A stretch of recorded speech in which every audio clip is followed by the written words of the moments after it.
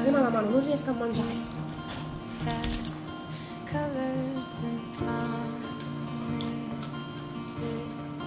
How to be brave? How can I love when I'm afraid Brava, ma. watching